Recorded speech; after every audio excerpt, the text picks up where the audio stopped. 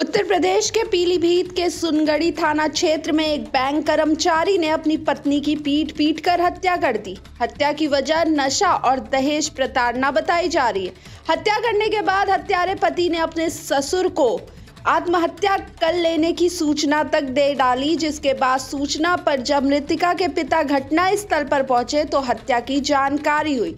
इसके बाद पुलिस को सूचना दी गई तब पुलिस मौके पर पहुँची और मृतिका के शव को अपने कब्जे में लेकर पोस्टमार्टम के लिए भिजवा दिया गया।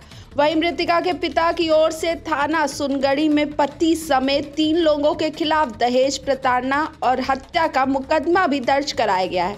दरअसल पीलीभीत के सुनगढ़ी थाना क्षेत्र के कुंवरगढ़ मोहल्ले में शाहजहांपुर का एक बैंक कर्मचारी रोहित अपनी पत्नी के साथ किराए पर रहता था। अचानक किसी बात को लेकर रोहित की अपनी पत्नी से कहा सुनी हो गई। शराब के नशे में रोहित ने अपनी पत्नी को पीट पीट कर मौत के घाट उतार दिया।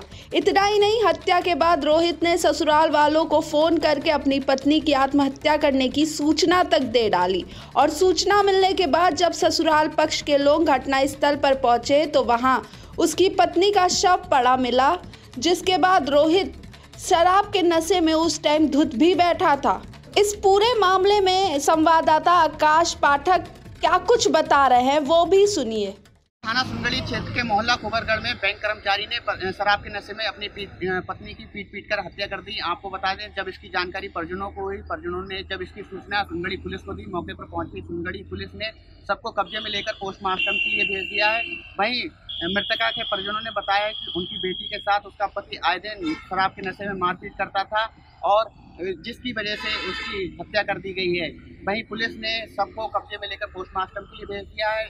परिजनों के आधार पर, तहरीर के आधार पर उन्होंने तीन लोगों के खिलाफ मुकदमा दर्ज किया है। R nine news Akash Pathak Pilibhit बिटिया हमारे, हम जब यहाँ पर आए हैं तो ज़मीन लेटे हुई थी, उसके सिर में भी हमको चोट लगी थी बहुत ज़्यादा तो खून निकल रहा था यहाँ पर।